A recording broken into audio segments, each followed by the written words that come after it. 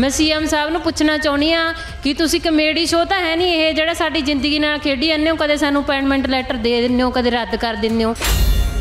CM ਸਾਹਿਬ ਹਰ ਜਗ੍ਹਾ ਤੇ ਕਹਿੰਦੇ ਰਹਿੰਦੇ ਨੇ, ਮੈਂ ਮਾਸਟਰ ਦਾ ਮੁੰਡਾ, ਮਾਸਟਰ ਦਾ ਮੁੰਡਾ। ਫਿਰ ਮਾਸਟਰਾਂ ਦਾ ਤਾਂ ਕੋਈ ਹੱਲ ਨਹੀਂ ਕੱਢ ਰਹੇ, ਸਾਰੇ ਟੀਚਰ ਨੇ ਜਿਹੜੇ ਮਾਸਟਰ ਨੇ ਉਹ ਰੁਲਦੇ ਫਿਰਦੇ ਨੇ। ਚੰਨੀ ਮੁੱਖ ਮੰਤਰੀ ਸੀ, ਪ੍ਰਗਟ ਸਿੰਘ ਜਿਹੜੇ ਸਿੱਖਿਆ ਮੰਤਰੀ ਸੀ, ਉਹ ਸਾਨੂੰ ਵੋਟਾਂ ਤੋਂ ਪਹਿਲਾਂ ਇਹ ਭਰਤੀ ਦੇ ਕੇ ਗਏ ਸੀ, ਪੇਪਰ ਇਹ ਸਰਕਾਰ ਨੇ ਲੈਤਾ ਸੀ ਜੀ। ਇਸ ਤੋਂ ਬਾਅਦ ਅਸੀਂ 41 ਕਾਰਡ ਦੇ ਵਿੱਚੋਂ 252 ਮੈਂਬਰ ਜਿਹੜੇ ਬਾਹਰ ਕੱਢ ਦਿੱਤੇ ਗਏ ਭਰਤੀ ਦੇ ਵਿੱਚੋਂ। ਨੇ ਅੱਜ ਵੀ ਸਾਡੀ ਸਬ ਕਮੇਟੀ ਨਾਲ ਜਿਹੜੀ ਮੀਟਿੰਗ ਸੀ, ਉਹ ਕੈਨਸਲ ਕਰ ਦਿੱਤੀ ਗਈ ਤੇ ਸਾਡੀ ਮੀਟਿੰਗ ਨਹੀਂ ਕੀਤੀ ਗਈ ਜੀ। ਹੱਲ ਨਹੀਂ ਕੱਢਿਆ ਜਾ ਰਿਹਾ ਸੀ। ਜਿਹੜੀ ਇਹ ਸਰਕਾਰ ਹੈ ਜੀ ਉਹ ਐਜੂਕੇਸ਼ਨ ਤੇ ਹੈਲਥ ਦੇ ਮੁੱਦੇ ਤੇ ਆਈ ਸੀ ਜੀ ਐਜੂਕੇਸ਼ਨ ਤੇ ਹੈਲਥ ਨੂੰ ਉੱਚਾ ਚੁੱਕਾਂਗੇ। ਪਰ ਉੱਚਾ ਚੱਕਣ ਦੀ ਬਜਾਏ ਇਹਨਾਂ ਨੇ ਸਾਰੇ ਟੀਚਰ ਜਿਹੜੇ ਰੋਲ ਤੇ ਸਾਰੇ ਟੀਚਰ ਇਹਨਾਂ ਨੇ ਬੇਰੁਜ਼ਗਾਰ ਕਰਕੇ ਟੈਂਕੀਆਂ ਤੇ ਚੜਨ ਲਈ ਮਜਬੂਰ ਕਰ ਦਿੱਤੇ ਜੀ। ਤੇ ਹੁਣ ਮੀਟਿੰਗਸ ਵੀ ਰੱਦ ਹੋ ਰਹੀਆਂ। ਤੁਹਾਨੂੰ ਲੱਗਦਾ ਹੈ ਕਿ ਤੁਹਾਡਾ ਹੱਲ ਨਿਕਲੇਗਾ? ਤੇ ਮੀਟਿੰਗਾਂ ਦੇ ਵਿੱਚ ਹਮੇਸ਼ਾ ਲਾਰੇ ਹੀ ਹੁੰਦੇ ਨੇਗੇ। ਉਹ ਨੌਕਰੀਆਂ ਤੇ ਜੇ ਇੱਥੋਂ ਵਾਲਿਆਂ ਨੂੰ ਦੇ ਦੇਣਾ, ਇੰਨੇ ਨਾਲ ਹੀ ਖੁਸ਼ਹਾਲ ਹੋ ਜੂ। ਬਾਹਰ ਵਾਲਿਆਂ ਨੂੰ ਤਾਂ ਖੁਸ਼ ਇੱਥੇ ਆ ਕੇ ਖੁਸ਼ਹਾਲ ਕਰਨ ਦੀ ਲੋੜ ਵੀ ਨਹੀਂ ਹੈ ਇੱਥੇ ਬਹੁਤ ਜ਼ਿਆਦਾ ਬੇਰੁਜ਼ਗਾਰ ਹੁਣ ਅਸੀਂ ਯੂਥ ਦੇ ਵਿੱਚ ਤਾਂ ਰਹੇ ਨਹੀਂ ਮੈਮ। ਅੱਧ ਵਿਚਾਲੇ ਜਾ ਕੇ ਦੇਖੋ। ਹੁਣ ਇਸ ਤੋਂ ਬਾਅਦ ਨਾ ਤਾਂ ਅਸੀਂ ਬਾਹਰ ਜਾ ਸਕਦੇ ਹਾਂ ਤੇ ਨਾ ਹੀ ਅਸੀਂ ਕੋਈ ਹੋਰ ਕਿੱਤਾ ਕਰ ਸਕਦੇ ਹਾਂ। ਮੋਦੀ ਸਾਹਿਬ ਨੇ ਇਹ ਕਿਹਾ ਸੀ ਕਿ ਜਿਹੜਾ ਮੇਰਾ ਹਰਾ ਪੈਨ ਹੈ ਉਹ ਬੇਰੁਜ਼ਗਾਰਾਂ ਵਾਸਤੇ ਚੱਲੂਗਾ। ਸੋ ਮੇਰੀ ਬੇਨਤੀ ਹੈ ਇੱਕ ਤਾਂ ਕਿ ਜਿਹੜਾ ਉਹ ਹਰਾ ਪੈਨ ਚਲਾ ਕੇ ਇਹਨਾਂ ਬੇਰੁਜ਼ਗਾਰਾਂ ਦਾ ਹੱਲ ਕਰਨ। ਤੁਹਾਨੂੰ ਸੀਐਮ ਨੇ ਅਪਾਇੰਟਮੈਂਟ ਲੈਟਰ ਦਿੱਤਾ ਐਜੂਕੇਸ਼ਨ ਮਿਨਿਸਟਰ ਨੇ। ਮੈਡੀਕਲ ਤੁਹਾਡਾ ਹੋ ਗਿਆ। ਪਰ ਇੱਕ ਇੱਕ ਸਾਲ ਦੇ ਵਿੱਚ ਸਮਾਜ ਦੇ ਵਿੱਚ ਉਹ ਦੇਖੋ ਕਿਹੜੀ ਦਸ਼ਾ ਦੇ ਵਿੱਚ ਜਿਉ ਰਹੇ ਹੋਣਗੇ ਕਿ ਜਦੋਂ ਕਿਸੇ ਨੂੰ ਨੌਕਰੀ ਦੇ ਕੇ, ਕਿਸੇ ਦੇ ਅੱਗੇ ਖਾਣਾ ਪਰੋਸ ਕੇ ਉਸ ਦੇ ਅੱਗੋਂ ਜਿਹੜਾ ਚੱਕ ਲਿਆ ਜਾਵੇ। ਬਹੁਤ ਹੀ ਇਸ਼ਤਿਹਾਰਬਾਜ਼ੀ ਵੋਟ ਲਾਉਣ ਦੀ ਲੋੜ ਨਹੀਂ ਪੈਣੀ। ਜਦੋਂ ਅਸੀਂ ਕੰਮ ਕੀਤੇ ਹੋਵਾਂਗੇ ਨਾ, ਲੋਕ ਤੁਹਾਡਾ ਖੁਦ ਪ੍ਰਚਾਰ ਕਰਨਗੇ। ਪੰਜਾਬ ਦੇ ਲੋਕਾਂ ਨੇ ਬਹੁਤ ਵੱਡੀ ਆਸ ਦੇ ਨਾਲ ਇੱਕ ਬਦਲਾਅ ਵਾਲੀ ਸਰਕਾਰ ਹੈ ਜਿਹੜੀ ਲਿਆਂਦੀ ਹੈ ਤੇ ਇਹ ਬਦਲਾਅ ਜਿਹੜਾ ਹਾਲੇ ਤੱਕ ਜ਼ਮੀਨ ਤੇ ਦਿਖ ਨਹੀਂ ਰਿਹਾ। ਸਾਡੀ ਜ਼ਿੰਦਗੀ ਨਾਲ ਖਿਲਵਾੜ ਕਰੀ ਜਾਂਦੇ ਹੋ। ਤੁਸੀਂ ਬਦਲਾ ਇਸ ਚੀਜ਼ ਦੇ ਉੱਤੇ ਲੈ ਕੇ ਆਏ ਸੀ ਕਿ ਹੈਲਥ ਤੇ ਐਜੂਕੇਸ਼ਨ ਦੇ ਮੁੱਦੇ ਤੇ ਸਾਡੀ ਸਰਕਾਰ ਜਿਹੜੀ ਚੰਗਾ ਕੰਮ ਕਰੂਗੀ, ਪਰ ਇਹਨਾਂ ਨੇ ਸਾਰੇ ਕੰਮਾਂ ਦੇ ਹੀ ਪੱਠਾ ਬਿਠਾ ਕੇ ਰੱਖਤਾ। ਚੰਗੇ ਫਲੈਕਸ ਲਗਾਏ ਨੇ ਕਿ ਅਸੀਂ 36000 ਨੌਕਰੀਆਂ ਤੇ 36000 ਨੌਕਰੀਆਂ ਦੇ ਵਿੱਚੋਂ 36 ਨੌਜਵਾਨਾਂ ਨੂੰ ਵੀ ਨੌਕਰੀਆਂ ਨਹੀਂ ਦਿੱਤੀਆਂ ਗਈਆਂ। ਸਾਰੇ ਸੜਕਾਂ ਤੇ ਰੁਲਦੇ ਫਿਰਦੇ ਨੇ, ਸਾਰੀਆਂ ਭਰਤੀਆਂ ਕੋਟਾਂ ਦੇ ਵਿੱਚ ਜਾ ਰਹੀਆਂ ਨੇ। ਤੇ ਨੇ, ਜਿਹੜੇ ਸਰਕਾਰ ਦੇ ਪਿਆਰੇ ਨੇ, ਉਹ ਸਾਨੂੰ ਬਾਹਰ ਕੱਢ ਕੇ ਉਹਨਾਂ ਨੂੰ ਸੈੱਟ ਕੀਤਾ ਜਾ ਰਿਹਾ ਜੀ। ਸਾਰੇ ਕਰਪਸ਼ਨ ਸਾਰਾ ਕੁਝ ਉਦਾਂ ਹੀ ਚੱਲੀ ਜਾਂਦਾ, ਨਵੀਂ ਸਰਕਾਰ ਦਾ ਕੋਈ ਨਵਾਂ ਬਦਲਾਅ ਨਹੀਂ ਆਇਆ। ਦਿਨ 5 ਜਨਵਰੀ 2023 ਜਿਸ ਦਿਨ ਪੰਜਾਬ ਐਗਰੀਕਲਚਰ ਯੂਨੀਵਰਸਿਟੀ ਦੇ ਵਿੱਚ ਸੀਐਮ ਮਾਨ ਦੇ ਵੱਲੋਂ ਮਾਸਟਰ ਕਾਡਰ 41 ਕਾਟ ਜਿਹੜੇ ਅਧਿਆਪਕ ਸੀ ਉਹਨਾਂ ਨੂੰ ਨਿਯੁਕਤੀ ਪੱਤਰ ਦਿੱਤੇ ਗਏ। ਪਰ ਅੱਜ ਵੀ ਉਹ ਅਧਿਆਪਕ ਜਿਹੜੇ ਨੇ ਹੱਥਾਂ ਦੇ ਵਿੱਚ ਅਪਾਇੰਟਮੈਂਟ ਲੈਟਰ ਲੈਣ ਤੋਂ ਬਾਅਦ ਵੀ ਮੈਡੀਕਲ ਹੋਣ ਤੋਂ ਬਾਅਦ ਵੀ ਬੇਰੋਜ਼ਗਾਰ ਨੇ। ਤੇ ਅੱਜ ਖਾਸ ਗੱਲਬਾਤ ਕਰਾਂਗੇ ਕਿ ਕਿਉਂ ਅੱਜ ਵੀ ਉਹਨਾਂ ਨੂੰ ਨੌਕਰੀਆਂ ਨਹੀਂ ਮਿਲੀ ਹੈ। ਕਿਉਂ ਅੱਜ ਵੀ ਰੋਜ਼ਗਾਰ ਦੇ ਲਈ ਥਾਂ ਥਾਂ ਤੇ ਭਟਕ ਰਹੇ ਨੇ ਸੜਕਾਂ ਤੇ ਰੁਲ ਰਹੇ ਨੇ ਕਿਤੇ ਟੈਂਕੀਆਂ ਤੇ ਚੜੇ ਹੋਏ ਨੇ। ਖਾਸ ਗੱਲਬਾਤ ਕਰਾਂਗੇ। ਸਭ ਤੋਂ ਪਹਿਲਾਂ ਗੱਲਬਾਤ ਕਰਦੀ ਹੈ। ਸਤਿ ਸ਼੍ਰੀ ਅਕਾਲ ਸਰ। ਅਸੀਂ ਕੱਲ ਅ, ਸਭ ਤੋਂ ਪਹਿਲਾਂ ਆਪਣਾ ਨਾਮ ਦੱਸੋ ਤੇ ਪੂਰਾ ਮਾਮਲਾ ਦੱਸੋ ਕੀ ਹੈ ਕਿ ਤੁਸੀਂ ਅੱਜ ਵੀ ਬੇਰੋਜ਼ਗਾਰ ਨੇ ਤੇ ਨੌਕਰੀ ਦੇ ਲਈ ਭਟਕ ਰਹੇ ਹੋ? ਮੇਰਾ ਨਾਮ ਕੁਲਵਿੰਦਰ ਸਿੰਘ ਹੈ ਜੀ। ਮਾਸਟਰ ਕਾਰਡ 41 ਕਾਰਡ ਦੀ ਭਰਤੀ ਆਈ ਸੀ ਜੋ। ਉਹਦੇ ਵਿੱਚ ਆਪ ਸਰਕਾਰ ਨੇ ਇਸ ਦਾ ਪੇਪਰ ਲਿਆ ਸਿਲੈਕਸ਼ਨ ਲਿਸਟਾਂ ਬਣੀਆਂ। ਉਸ ਤੋਂ ਬਾਅਦ ਨਵੇਂ ਸਾਲ 5 ਜਨਵਰੀ ਨੂੰ ਪੰਜਾਬ ਐਗਰੀਕਲਚਰ ਯੂਨੀਵਰਸਿਟੀ ਲੁਧਿਆਣਾ ਦੇ ਵਿੱਚ ਮੁੱਖ ਮੰਤਰੀ ਤੇ ਸਿੱਖਿਆ ਮੰਤਰੀ ਨੇ ਇਹਨਾਂ ਕੈਂਡੀਡੇਟਾਂ ਨੂੰ ਜਿਹੜੇ ਨਿਯੁਕਤੀ ਪੱਤਰ ਵੰਡੇ ਸੀਗੇ ਕਿ ਅਸੀਂ ਨਵੇਂ ਸਾਲ ਤੇ ਜਿਹੜੀਆਂ ਨੌਕਰੀਆਂ ਨੇ ਉਹ ਦੇ ਦਿੱਤੀਆਂ। ਉਸ ਤੋਂ ਬਾਅਦ ਐਜੂਕੇਸ਼ਨ ਡਿਪਾਰਟਮੈਂਟ ਨੂੰ ਇਹਨਾਂ ਕੈਂਡੀਡੇਟਾਂ ਨੂੰ ਕਿਹਾ ਗਿਆ ਕਿ ਇੱਕ ਹਫ਼ਤੇ ਦੇ ਅੰਦਰ ਤੁਸੀਂ ਆਪਣਾ ਜਿਹੜਾ ਮੈਡੀਕਲ ਕਰਵਾ ਲਓ, ਤੁਹਾਨੂੰ ਜਲਦੀ ਜਿਹੜਾ ਸਕੂਲਾਂ ਦੇ ਵਿੱਚ ਭੇਜਣਾ ਹੈ।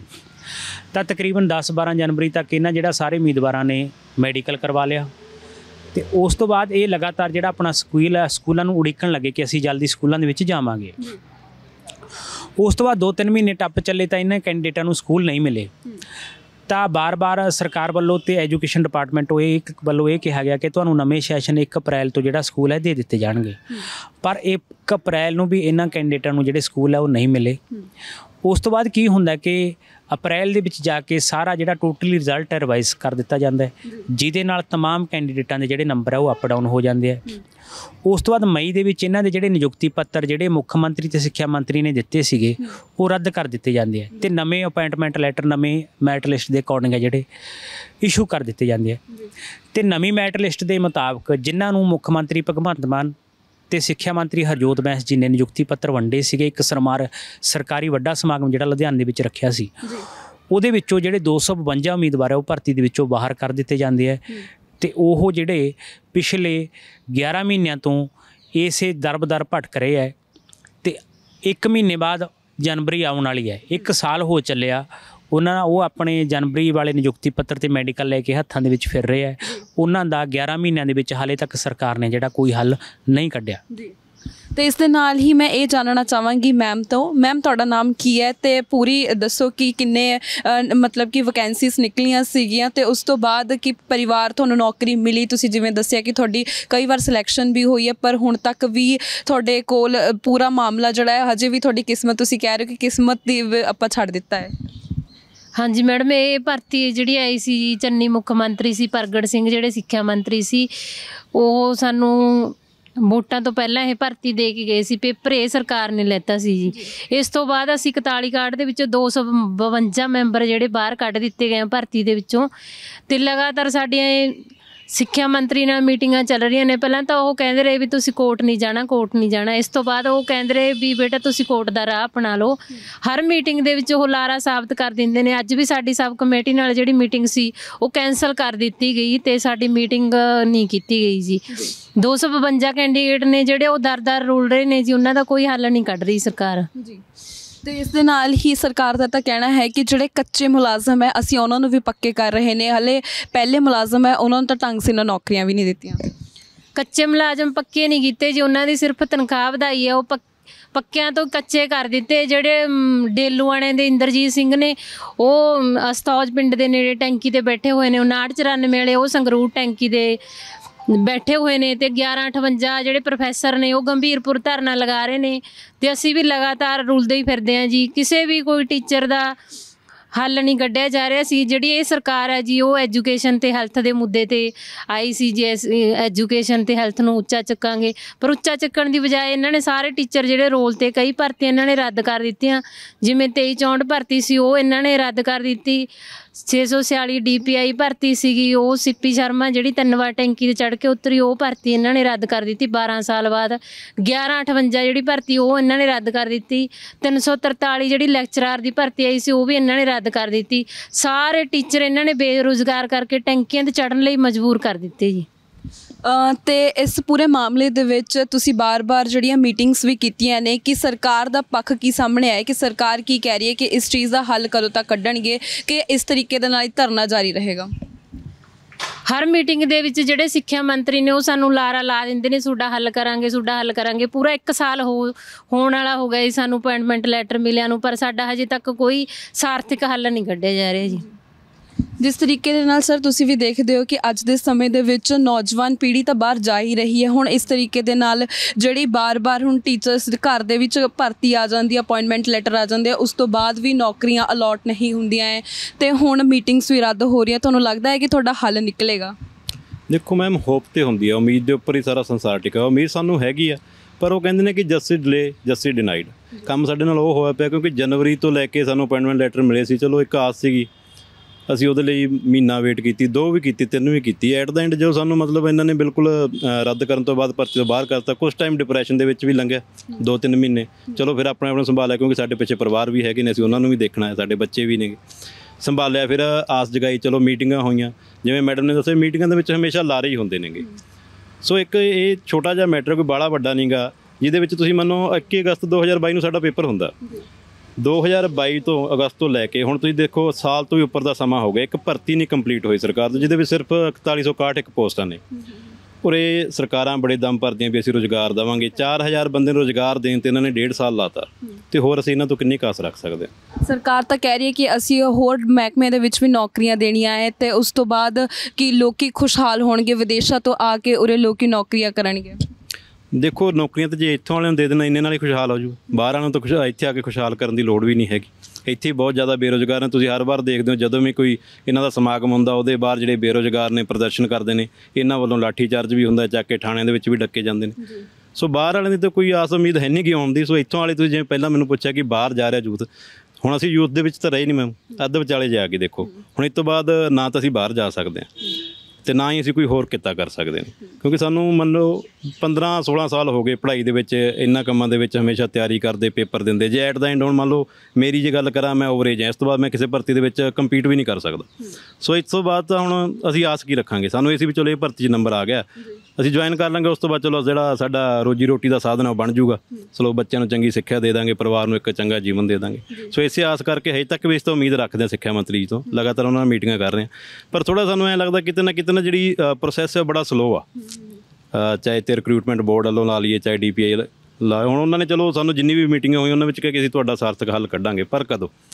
ਕਦੋਂ ਤੇ ਆ ਕੇ ਗੱਲ ਰੁਕ ਜਾਂਦੀ ਹੁਣ ਮੰਨ ਲਓ ਇੱਕ ਜਦੋਂ ਬੰਦੇ ਨੂੰ ਸਮਾਜ ਦੇ ਵਿੱਚ ਰਹਿਣਾ ਹੋਵੇ ਨਿਯੁਕਤੀ ਪੱਤਰ ਮਿਲਣ ਤੋਂ ਬਾਅਦ 11 ਮਹੀਨੇ ਹੋ ਜਾਣ ਤੇ ਤੁਹਾਨੂੰ ਪਤਾ ਕੀ ਸਵਾਲ ਤੇ ਰੋਜ਼ ਉੱਠਦੇ ਨੇ ਸਮਾਜ ਦੇ ਵਿੱਚ ਕਦੇ ਕੋਈ ਤੁਹਾਨੂੰ ਰਿਸ਼ਤੇਦਾਰ ਪੁੱਛੂ ਕਦੇ ਕਿਉਂ ਨਹੀਂ ਗਏ ਕੀ ਹੋਇਆ ਸੋ ਉਹਦੇ ਲਈ ਅਸੀਂ ਵਾਰ-ਵਾਰ ਕੋਈ ਨਵੇਂ-ਨਵੇਂ ਬਹਾਨੇ ਬਣਾ ਕੇ ਕੀਰੀ ਤੇ ਜਵਾਬ ਦਿੰਨੇ ਆ ਤੇ ਇਸ ਕਰਕੇ ਸੋਚੀਦਾ ਵੀ ਸਮਾਜ 'ਚ ਘੱਟ ਹੀ ਨਿਕਲੀਏ ਜਵਾਬ ਦੇਣਾ ਬੜਾ ਔਖਾ ਹੋ ਜਾਂਦਾ।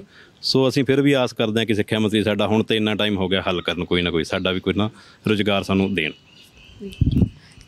ਜੀ ਸਰ। ਹਾਂਜੀ ਜਦੋਂ ਮੁੱਖ ਮੰਤਰੀ ਸਾਹਿਬ ਨੇ ਇਹ ਕਿਹਾ ਸੀ ਕਿ ਜਿਹੜਾ ਮੇਰਾ ਹਰਾ ਪੈਨ ਆ ਉਹ ਬੇਰੁਜ਼ਗਾਰਾਂ ਵਾਸਤੇ ਚੱਲੂਗਾ ਵਿਦੇਸ਼ਾਂ ਵਾਲੇ ਨੌਜਵਾਨ ਇੱਧਰ ਆਉਣਗੇ। ਸੋ ਮੇਰੀ ਬੇਨਤੀ ਹੈ ਇੱਕ ਤਾਂ ਕਿ ਜਿਹੜਾ ਉਹ ਹਰਾ ਪੈਨ ਚਲਾ ਕੇ ਇਹਨਾਂ ਬੇਰੁਜ਼ਗਾਰਾਂ ਦਾ ਹੱਲ ਕਰਨ। ਦੂਸਰੇ ਨੰਬਰ ਤੇ ਅਸੀਂ ਵਿਦੇਸ਼ਾਂ ਵਾਲਿਆਂ ਨੂੰ ਨਾ ਉਧਰੋਂ ਪਹਿਲਾਂ ਇੱਧਰਲੇ ਨੌਜਵਾਨਾਂ ਨੂੰ ਹੀ ਸੈੱਟ ਕਰ ਲਈਏ ਕਿ ਜਿਹੜੇ ਇੱਧਰ ਫਿਰ ਰਹੇ ਨੇਗੇ ਕਿਉਂਕਿ ਮੁੱਖ ਮੰਤਰੀ ਸਾਹਿਬ ਨੇ ਕਿਹਾ ਸੀ ਕਿ ਮੈਂ ਜਿਹੜੇ ਚੁੱਲ੍ਹਿਆਂ ਦੀ ਅੱਗ ਹੈ ਉਹ ਮਚਾਊਂਗਾ। ਪਰ ਜਿਹੜੇ ਇਹ ਨੌਜਵਾਨ ਹੈ ਇਹਨਾਂ ਦੇ ਜਿਹੜੇ ਚੁੱਲ੍ਹਿਆਂ ਦੀ ਅੱਗ ਆ, ਉਹ ਬੁੱਝ ਚੁੱਕੀ ਹੈ ਕਿਉਂਕਿ ਪ੍ਰਾਈਵੇਟ ਨੌਕਰੀਆਂ ਤੋਂ ਵੀ ਅਸਤੀਫਾ ਦੇ ਚੁੱਕੇ ਹੈ। ਸਮਾਜ ਦੇ ਵਿੱਚ ਜਲੀਲ ਹੋ ਕੇ ਰਹਿ ਰਹੇ ਹੈ।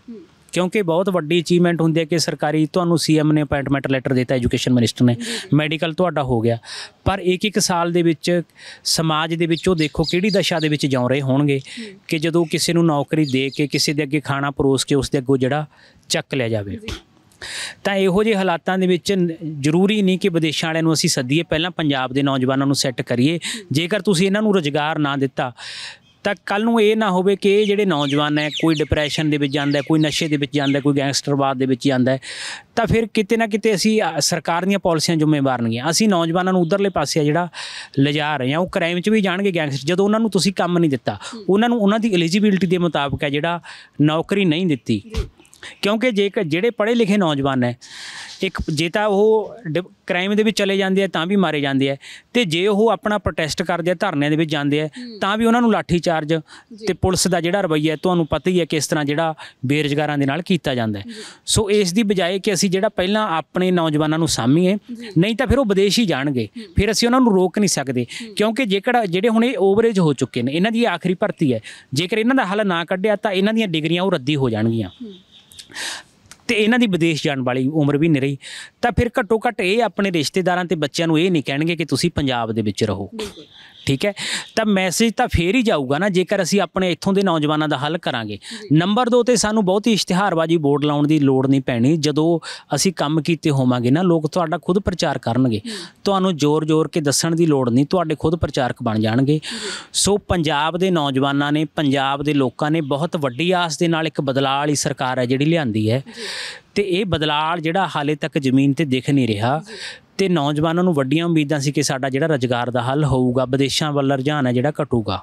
ਸੋ ਅਸੀਂ ਪੰਜਾਬ ਦੇ ਵਿੱਚ ਰਹਿ ਰਹੇ ਨੌਜਵਾਨਾਂ ਨੂੰ ਸਰਕਾਰ ਹੈ ਜਿਹੜਾ ਸੰਭਾਲੇ ਕਿਉਂਕਿ ਡੇਢ ਸਾਲ ਤੋਂ ਉੱਪਰ ਟੱਪ ਚੱਲਿਆ। ਹਾਲੇ ਤੱਕ ਮਾਸਟਰ ਕੈਡਰ ਦੀ ਸਰਕਾਰ ਨੇ ਕੋਈ ਭਰਤੀ ਨਹੀਂ ਦਿੱਤੀ। ਬਹੁਤ ਸਾਰੀਆਂ ਭਰਤੀਆਂ ਰੁੜ ਰਹੀਆਂ ਨੇ, ਕੋਰਟਾਂ ਦੇ ਵਿੱਚ ਜਾ ਰਹੀਆਂ, ਰੱਦ ਹੋਈਆਂ ਪਈਆਂ ਨੇ।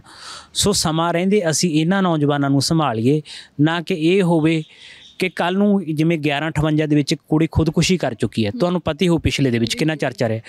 ਕਿ ਕੱਲ ਨੂੰ ਕੋਈ ਹੋਰ ਨਿਯੁਕਤੀ ਪੱਤਰ ਵਾਲਾ ਜਾਂ ਇਸ ਤਰ੍ਹਾਂ ਡਿਪਰੈਸ਼ਨ ਦੇ ਵਿੱਚ ਆ ਕੇ ਗਲਤ ਸਟੈਪ ਹੈ ਜਿਹੜਾ, ਚੱਕ ਲੇ।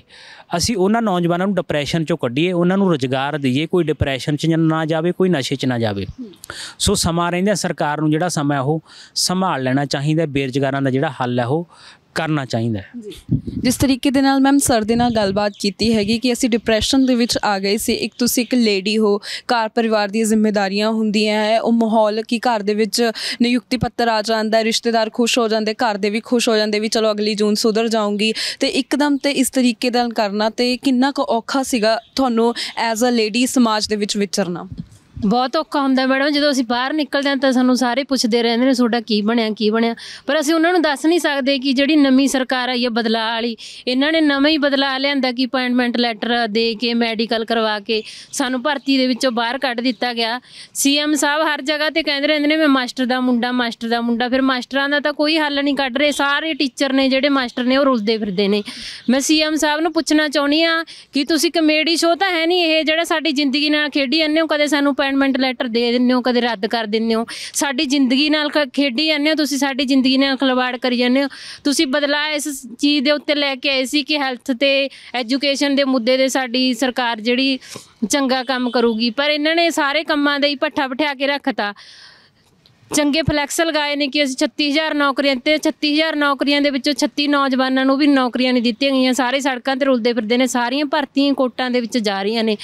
ਸੀਐਮ ਸਾਹਿਬ ਸਾਨੂੰ ਕਹਿੰਦੇ ਸੀ, ਜਿਸ ਦਿਨ ਸਾਨੂੰ ਅਪਾਇੰਟਮੈਂਟ ਲੈਟਰ ਦਿੱਤੇ ਨੇ ਕਿ ਬੜੀ ਬੇਸਾਬਰੀ ਨਾਲ ਤੁਹਾਡੇ ਪਿੰਡਾਂ ਦੇ ਸਕੂਲ ਜਿਹੜੇ ਉਡੀਕ ਕਰ ਰਹੇ ਨੇ। ਅਸੀਂ ਤਾਂ ਸਕੂਲਾਂ ਦੀ ਉਡੀਕ ਕਰ ਰਹੇ ਹਾਂ ਜੀ। ਪਰ ਸਾਡੇ ਅਪਾਇੰਟਮੈਂਟ ਲੈਟਰ ਰੱਦ ਕਰਕੇ ਸਾਨੂੰ ਘਰੇ ਬਿਠਾਤਾ ਕਿ ਸਾਨੂੰ ਸਕੂਲਾਂ ਵਿੱਚ ਭੇਜਣਾ ਨਹੀਂ ਸੀ। ਅਸੀਂ ਡੇਢ ਦੇ 150 ਦੇ ਵਿੱਚੋਂ 140 40 139 39 ਨੰਬਰ ਲ- ਲੈਤੇ ਨੇ ਕਿ ਅਸੀਂ ਕੰਪੀਟੀਸ਼ਨ ਦੇ ਵਿੱਚ ਨਹੀਂ ਖੜਦੇ ਸਾਡੇ ਜਿਹੜੇ ਦੋ ਕੁਐਸਚਨ ਕੁਐਸਚਨਾਂ ਦੇ ਨੰਬਰ ਕੱਟੇ ਨੇ, ਉਹ ਸਾਡੇ ਸਹੀ ਕੁਐਸਚਨ ਨੇ ਜਿਹੜੇ ਪੰਜਾਬ ਸਕੂਲ ਸਿੱਖਿਆ ਬੋਰਡ ਦੇ ਵਿੱਚ ਪੜ੍ਹਾਏ ਜਾ ਰਹੇ ਨੇ। ਉਹ ਸਾਡੇ ਗਲਤ ਕਰ ਦਿੱਤੇ ਨੇ। ਜਿਹੜੇ ਸਰਕਾਰ ਦੇ ਪਿਆਰੇ ਨੇ, ਉਹ ਸਾਨੂੰ ਬਾਹਰ ਕੱਢ ਕੇ ਉਹਨਾਂ ਨੂੰ ਸੈੱਟ ਕੀਤਾ ਜਾ ਰਿਹਾ ਜੀ। ਸਾਰੇ ਕਰਪਸ਼ਨ ਸਾਰਾ ਕੁਝ ਉਦਾਂ ਹੀ ਚੱਲੀ ਜਾਂਦਾ। ਨਵੀਂ ਸਰਕਾਰ ਦਾ ਕੋਈ ਨਵਾਂ ਬਦਲਾ ਬਦਲਾਅ ਨਹੀਂ ਆਇਆ। ਮੀਡੀਆ ਦੇ ਉੱਤੇ ਸਾਰਿਆਂ ਦੇ ਉੱਤੇ ਤੰਜ ਰੱਖੀ ਜਾਂਦੀ ਹੈ। ਮੀਡੀਆ ਸਾਰਾ ਆਪਦੇ ਨੀਚੇ ਦਬਾ ਕੇ ਰੱਖਦੇ ਨੇ। ਜੇ ਕੋਈ ਖਬਰ ਲਗਾਉਂਦਾ ਤਾਂ ਉਹਨਾਂ ਦਾ ਜਿਹੜਾ ਪੇਜ ਆ ਬੰਦ ਕਰ ਦਿੱਤਾ ਜਾਂਦਾ ਜੀ। ਇਸ ਦੇ ਨਾਲ ਹੀ ਸਰ ਜਿਵੇਂ ਅਸੀਂ ਗੱਲਬਾਤ ਵੀ ਕਰ ਰਹੇ ਸੀ ਤੁਸੀਂ ਦੱਸਿਆ ਸੀਗਾ ਕਿ ਇੱਥੇ ਤਾਂ 0.00 ਤੋਂ ਵੀ ਨੰਬਰਾਂ ਨੂੰ ਲੈ ਕੇ ਕਈ ਵਾਰ ਬਹੁਤ ਬਹਿਸ ਹੋ ਜਾਂਦੀ ਹੈ। ਬੱਚੇ ਕੰਪੀਟੀਸ਼ਨ ਤੋਂ ਬਾਹਰ ਹੋ ਜਾਂਦੇ ਨੇ। ਤੇ ਇਸ ਪੇਪਰ ਦੇ ਵਿੱਚ ਤੁਹਾਡੇ 10-10 ਨੰਬਰ ਜਿਹੜੇ ਹੈ ਉਹ ਫਾਲਤੂ ਦਿੱਤੇ ਗਏ ਨੇ ਦੂਸਰੇ ਕੈਂਡੀਡੇਟਸ ਨੂੰ। ਉਹ ਕੀ ਪੂਰਾ ਮਾਮਲਾ ਹੈ? ਬਿਲਕੁਲ ਜੀ ਇਸ 10-10 ਨੰਬਰ ਆ ਜਿਹੜੇ ਡ੍ਰੌਪ ਕਰ ਦਿੱਤੇ ਗਏ ਹੈ ਮਤਲਬ ਕਿ ਦੇਖੋ ਜਿਹਦਾ ਸਹੀ ਸੀਗੇ ਉਹਨੂੰ ਤਾਂ ਨੁਕਸਾਨ ਹੋ ਗਿਆ। ਜਿਸ ਨੇ ਗਲਤ ਚੂਜ਼ ਕੀਤੇ ਸੀ ਉਹਨਾਂ ਨੂੰ ਫਾਇਦਾ ਹੋ ਗਿਆ।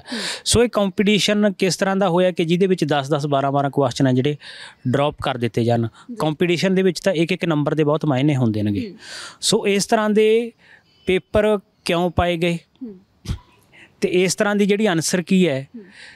ਇਹਨਾਂ ਵਾਸਤੇ ਜਵਾਬਦੇਹੀ ਸਰਕਾਰ ਨੂੰ ਪੁੱਛਣੀ ਚਾਹੀਦੀ ਹੈ। ਕਿਉਂਕਿ ਇਹ ਨੌਜਵਾਨਾਂ ਦੀ ਜ਼ਿੰਦਗੀ ਦਾ ਤੇ ਭਵਿੱਖ ਦਾ ਸਵਾਲ ਹੈ ਕਿ ਪਹਿਲਾਂ ਤੁਸੀਂ ਇਹੋ ਜਿਹੇ ਕੁਐਸਚਨ ਆਨਸਰ ਕਿਉਂ ਸੈੱਟ ਕਰਦੇ ਹੋ? ਠੀਕ ਹੈ ਜੀ। ਫਿਰ ਇਹਨਾਂ ਭਰਤੀਆਂ ਦੇ ਵਿੱਚ ਇਹਨਾਂ ਨੋਟੀਫਿਕੇਸ਼ਨਾਂ ਦੇ ਵਿੱਚ ਜਾਂ ਟੈਕਨੀਕਲ ਫਾਲਟ ਕਿਉਂ ਰੱਖੇ ਜਾਂਦੇ ਆ? ਸਾਨੂੰ ਕਿਸੇ ਨਾ ਕਿਸੇ ਦੀ ਜਵਾਬਦੇਹੀ ਤਲਬ ਤੈਅ ਕਰਨੀ ਪਊਗੀ। ਕਿ ਇਹ ਜ਼ਿੰਮੇਵਾਰੀ ਇਸ ਦੀ ਕੌਣ ਹੈ?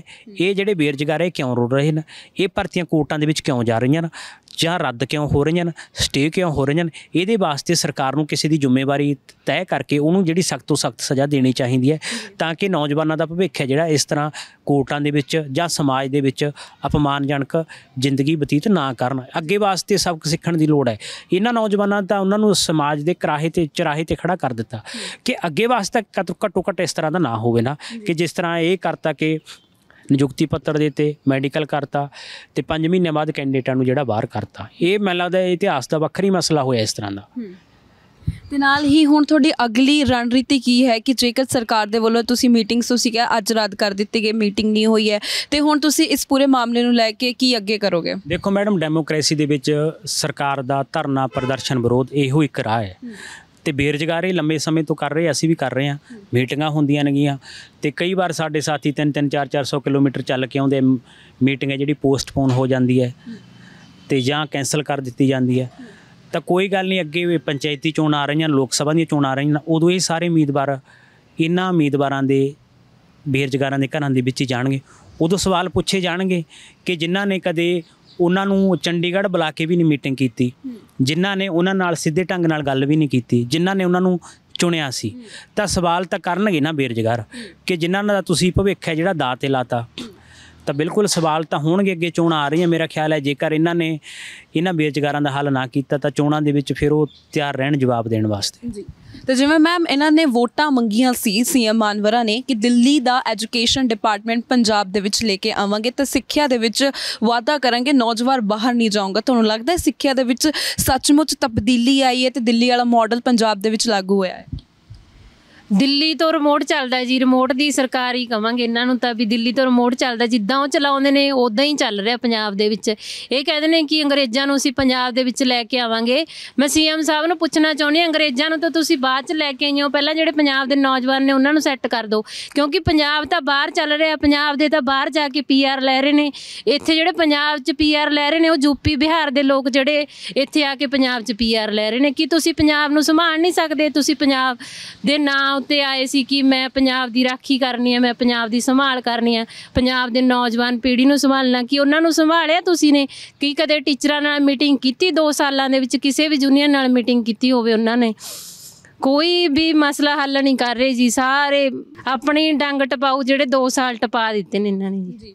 ਤੇ ਸਰ, ਜਿਵੇਂ ਕਿ ਹੁਣ ਲੱਗਦਾ ਹੈ ਕਿ ਜਿਹੜੀਆਂ ਹੁਣ ਲੋਕ ਸਭਾ ਦੀਆਂ ਚੋਣਾਂ ਆਣੀਆਂ ਹੈ, ਉਸ ਦੇ ਵਿੱਚ ਤੁਹਾਡਾ ਇਹ ਮਸਲਾ ਹੱਲ ਹੋ ਸਕਦਾ ਹੈ ਕਿਉਂਕਿ ਜਿਸ ਤਰੀਕੇ ਦੇ ਨਾਲ ਲਗਾਤਾਰ ਹੀ ਸਰਕਾਰ ਦੇ ਵੱਲੋਂ ਤਾਂ ਪ੍ਰਚਾਰ ਜੋਰਾ ਸ਼ੋਰਾ ਤੋਂ ਕੀਤਾ ਸੀ, ਐਜੂਕੇਸ਼ਨ ਦੇ ਵਿੱਚ ਅਸੀਂ ਚੇਂਜ ਕਰਨਾ ਹੈ ਤੇ ਉਸ ਤੋਂ ਬਾਅਦ ਸਿਹਤ ਸਹੂਲਤਾਂ ਦੇ ਵਿੱਚ ਬਦਲਾਅ ਕਰਨਾ ਹੈ ਤੇ ਐਜੂਕੇਸ਼ਨਸ ਜੇ ਸਕੂਲਾਂ ਦੇ ਵਿੱਚ ਇਸ ਵੇਲੇ ਵੈਕੈਂਸੀਆਂ ਖਾਲੀ ਪਈਆਂ ਨੇ, ਬੱਚੇ ਜਿਹੜੇ ਹੈ ਪੜਨ ਦੇ ਲਈ ਧੱਕੇ ਖਾ ਰਹੇ ਕਿ ਸਾਨੂੰ ਟੀਚਰਸ ਹੈ ਨਹੀਂ ਸਕੂਲਾਂ ਦੇ ਵਿੱਚ? ਦੇਖੋ, ਮੈਨੂੰ ਲੱਗਦਾ ਵੀ ਜਿਹੜਾ ਇਹਨਾਂ ਦਾ ਸਿਹਤ ਵਾਲਾ ਸੀਗਾ ਮਸਲਾ, ਉਹ ਤਾਂ ਲੇਟੈਸਟ ਹੀ ਨਿਊਜ਼ ਆਈ ਜਾਂਦੀ ਹੈ ਕਿ ਸ਼ਾਇਦ ਇਹਨਾਂ ਨੂੰ ਕੂਚੀ ਮਾਰਨੀ ਪੈਣੀ ਹੈ ਜਿਹੜਾ ਮੁਹੱਲਾ ਕਲੀਨਿਕ ਨੇ ਕਿਉਂਕਿ ਉਹ ਤਾਂ ਫੇਲ ਹੋ ਚੁੱਕਾ ਹੈ, ਸਾ- ਸਭ ਪਤਾ ਹੈ ਗਰਾਊਂਡ ਲੈਵਲ ਦੇ ਉੱਤੇ। ਜਿਹੜਾ ਐਜੂਕੇਸ਼ਨ ਵਾਲਾ ਉਹ ਤੁਹਾਨੂੰ ਅਸੀਂ ਜ਼ਿਆਦਾ ਤਾਂ ਮਸਲਾ ਦੱਸ ਹੀ ਚੁੱਕੇ ਹਾਂ। ਹੁਣ ਜਿਵੇਂ ਮੈਮ ਨੇ ਵੀ ਦੱਸਤਾ ਤੁਹਾਨੂੰ ਸਰ ਨੇ ਵੀ ਦੱਸਿਆ ਕਿ ਬਹੁਤ ਜ਼ਿਆਦੀਆਂ ਭਰਤੀਆਂ ਨੇ ਜਿਹੜੀਆਂ ਇਹ ਰੱਦ ਕਰ ਚੁੱਕੇ ਨੇਗੇ।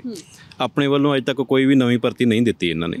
ਹੁਣ ਜਿਵੇਂ ਲਗਾਤਾਰ ਤੁਸੀਂ ਪੁੱਛਿਆ ਸੀ ਵੀ ਤੁਹਾਡਾ ਕੀ ਐਕਸ਼ਨ ਹੋਊਗਾ ਸਾਡਾ ਐਕਸ਼ਨ ਤੇ ਇਹੀ ਹੈ ਜਿਵੇਂ ਧਰਨੇ ਪ੍ਰਦਰਸ਼ਨ ਹੁੰਦੇ ਨੇ। ਹੁਣ ਗੰਭੀਰਪੁਰ ਬੈਠੇ ਨੇ 100 ਦਿਨ ਹੋ ਗਏ ਨੇ 1158 ਭਰਤੀ ਵਾਲ ਨੂੰ ਪਹਿਲਾਂ ਇੱਕ ਸਾਡੀ ਜਿਹੜੀ ਹੈਗੀ ਅਧਿਆਪਕਾ ਉਹ ਖੁਦਕੁਸ਼ੀ ਵੀ ਕਰ ਚੁੱਕੀ ਹੈ। ਉਸ ਤੋਂ ਬਾਅਦ ਹੁਣ ਕੱਲ ਤੋਂ ਸ਼ਾਇਦ ਇੱਕ ਅਧਿਆਪਕਾ ਹੈਗੇ ਨੇ ਲਾਇਬ੍ਰੇਰੀ ਫਰੰਟ ਦੇ ਉਹ ਮਰਨ ਵਰਤੀ ਵੀ ਬੈਠ ਰਹੇ ਨੇਗੇ। ਹਾਲਾਂਕਿ ਉਹਨਾਂ ਨੂੰ ਵੀ ਮੀਟਿੰਗ ਦਿੱਤੀ ਗਈ ਸੀ ਸ਼ਾਇਦ ਅੱਜ ਸਾਡੇ ਨਾਲ ਹੀ ਪਰ ਉਹ ਮੰਤਰੀ ਸਾਹਿਬ ਅੱਜ ਸ਼ਾਇਦ ਫਰੀਦਕੋਟ ਪਹੁੰਚੇ ਹੋਏ ਨੇ ਸਾਰਾ ਜਿਹੜਾ ਅਮਲਾ ਉਹਨਾਂ ਦੇ ਨਾਲ ਹੀ ਆ ਤੇ ਸਾਨੂੰ ਕੋਈ ਅਗਾਊਂ ਸੂਚਨਾ ਵੀ ਨਹੀਂ ਦਿੱਤੀ ਇਹਨਾਂ ਨੇ ਇੱਕ ਦਿਨ ਪਹਿਲਾਂ ਕਿਉਂਕਿ ਅਸੀਂ ਵੀ 200 ਕਿਲੋਮੀਟਰ ਜਾਂ 250 ਕਿਲੋਮੀਟਰ ਤੋਂ ਆਉਣਾ ਹੁੰਦਾ। ਬੇਰੋਜ਼ਗਾਰ ਅਸੀਂ ਪਹਿਲਾਂ ਆ ਤੇ ਇੰਨੀ ਦੂਰੋਂ ਆਉਣ ਤੇ ਖਰਚਾ ਵੀ ਪੈਂਦਾ ਜੀ ਪਿੱਛੋਂ ਪਰਿਵਾਰ ਦਾ ਕੰਮ ਕੋਈ ਛੱਡ ਕੇ ਵੀ ਆਉਣੇ ਸੋ ਇਸ ਤਰ੍ਹਾਂ ਦੀਆਂ ਜਿਹੜੀਆਂ ਇਹ ਘਟਨਾਵਾਂ ਨੇਗੀਆਂ ਸਾਡੇ ਨਾਲ ਆਮ ਹੀ ਵਾਪਰਦੀਆਂ ਨੇ ਜਦੋਂ ਅਸੀਂ ਮੀਟਿੰਗਾਂ ਤੇ ਆਉਣੇ ਆ ਸੋ ਇਹਨਾਂ ਤੋਂ ਤੰਗ ਆ ਕੇ ਗਾਂ ਜਿਵੇਂ ਲੋਕ ਸਭਾ ਦੀਆਂ ਚੋਣਾਂ ਆਉਣਗੀਆਂ ਹੁਣ ਸਾਡੇ ਕੋਲ ਇੱਕੋ ਇੱਕ ਹਥਿਆਰ ਹੈ ਜੀ ਵੋਟ। ਸੋ ਸਰਕਾਰ ਨੂੰ ਸਭ ਤੋਂ ਵੱਡਾ ਜਿਹੜਾ ਡਰ ਹੁੰਦਾ ਉਹ ਵੋਟ ਦਾ ਹੁੰਦਾ। ਸੋ ਪਹਿਲਾਂ ਤਾਂ ਅਸੀਂ ਸੋਚਿਆ ਸੀਗਾ ਅਸੀਂ ਸਾਨੂੰ ਬੜੀਆਂ ਆਸਾਂ ਸੀ। ਅਸੀਂ ਆਪਦੇ ਘਰਦਿਆਂ ਨੂੰ ਵੀ ਕਿਹਾ ਸੀ ਵੀ ਬਦਲਾਅ ਲੈ ਕੇ ਆਉਣਾ ਬਦਲਾਅ ਤਾਂ ਚਲੋ ਅਸੀਂ ਵੀ ਉਹਦੇ ਵਿੱਚ ਹਿੱਸਾ ਪਾਇਆ ਕਿਤੇ ਨਾ ਕਿਤੇ।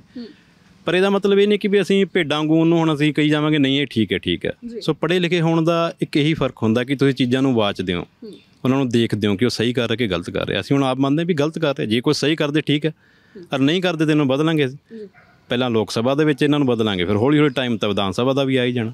ਸੋ ਹਮੇਸ਼ਾ ਜਿਹੜੀ ਅੱਤ ਹੈ ਉਹਦਾ ਅੰਤ ਤਾਂ ਆਉਂਦਾ ਹੀ ਹੈ ਤੇ ਅੱਜ ਅਸੀਂ ਖਾਸ ਗੱਲਬਾਤ ਕੀਤੀ ਹੈਗੀ ਉਹਨਾਂ ਨੌਜਵਾਨਾਂ ਦੇ ਨਾਲ। ਤੁਸੀਂ ਦੇਖ ਸਕਦੇ ਹੋ ਕਿਸ ਤਰੀਕੇ ਦੇ ਨਾਲ ਇਹ ਉਹ ਨੌਜਵਾਨ ਨੇ ਜਿਨ੍ਹਾਂ ਨੇ ਆਖਰੀ ਇਹ ਭਰਤੀ ਸੀ। ਇਸ ਤੋਂ ਬਾਅਦ ਸ਼ਾਇਦ ਇਹਨਾਂ ਨੂੰ ਮੌਕਾ ਵੀ ਨਾ ਮਿਲੇ ਕਿ ਉਹ ਆਪਣੀ ਗਵਰਨਮੈਂਟ EMPLOYMENT ਦੇ ਲਈ ਅਰਜ਼ੀਆਂ ਵੀ ਫਾਈਲ ਕਰ ਸਕਣ ਤੇ ਘਰ ਦੇ ਵਿੱਚ ਆਇਆ, ਨਿਯੁਕਤੀ ਪੱਤਰ ਫਿਜ਼ੀਕਲ ਵੀ ਸਾਰਾ ਹੋ ਗਿਆ, ਇਹਨਾਂ ਦਾ ਮੈਡੀਕਲ ਸਭ ਕੁਝ ਹੋ ਗਿਆ ਤੇ ਉਸ ਤੋਂ ਬਾਅਦ ਵੀ ਅੱਜ ਨੌਕਰੀ ਨਹੀਂ ਮਿਲ ਰਹੀ, ਬੇਰੋਜ਼ਗਾਰ ਨੇ ਤੇ ਜਿੱਥੇ ਇੱਕ ਪਾਸੇ ਨੌਜਵਾਨ ਪੰਜਾਬ ਦਾ, ਵਿਦੇਸ਼ਾਂ ਦੇ ਵਿੱਚ ਜਾ ਰਿਹਾ ਹੈ, ਉੱਥੇ ਹੀ ਅੱਜ ਇਹ ਉਹ ਨੌਜਵਾਨ ਖੜੇ ਨੇ ਜਿਹੜੇ ਕਿ ਨੌਕਰੀ ਸਰਕਾਰ ਤੋਂ ਮੰਗ ਰਹੇ ਨੇ। ਹਾਲਾਂਕਿ ਟੈਸਟ ਵੀ ਕਲੀਅਰ ਹੋ ਗਿਆ ਅਪਾਇੰਟਮੈਂਟ ਲੈਟਰ ਸਭ ਕੁਝ ਹੋ ਗਿਆ ਤੇ ਅੱਜ ਵੀ ਦਰ ਦਰ ਦੀਆਂ ਠੋਕਰਾਂ ਖਾ ਰਹੇ ਨੇ, ਸਰਕਾਰ ਤੋਂ ਨੌਕਰੀਆਂ ਮੰਗ ਰਹੇ ਨੇ ਤੇ ਇਸੇ ਆਸ ਨਾਲ ਕਿ ਸਾਨੂੰ ਰੋਜ਼ਗਾਰ ਮਿਲੇਗਾ। ਸਾਡੀ ਜਿਹੜੀ ਪੀੜ੍ਹੀ ਹੈ, ਉਹ ਅਗਲੀ ਆਉਣ ਵਾਲੀ ਸੁਧਰੇਗੀ ਤੇ ਸਾਡੇ ਵੀ ਘਰ 'ਚ ਖੁਸ਼ਹਾਲੀ ਆਣਗੀ ਆਵੇਗੀ। ਤਾਂ ਹੁਣ ਦੇਖਣਾ ਹੋਵੇਗਾ ਕਿ ਸਰਕਾਰ ਦੇ ਵੱਲੋਂ ਇਹਨਾਂ ਨੌਜਵਾਨਾਂ ਦਾ, ਇਹਨਾਂ ਬੇਰੋਜ਼ਗਾਰਾਂ ਦਾ ਕਦੋਂ ਹੱਲ ਕੱਢਿਆ ਜਾਵੇਗਾ। ਕੈਮਰਾਮੈਨ ਕੁਲਦੀਪ ਦੇ ਨਾਲ ਮੈਂ ਗਰਿਮਾ ABC ਪੰਜਾਬ, ਚੰਡੀਗੜ੍ਹ।